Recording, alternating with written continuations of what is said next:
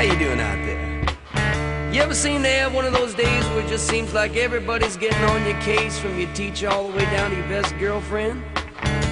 Well, you know, I used to have them just about all the time, but I found a way to get out of it.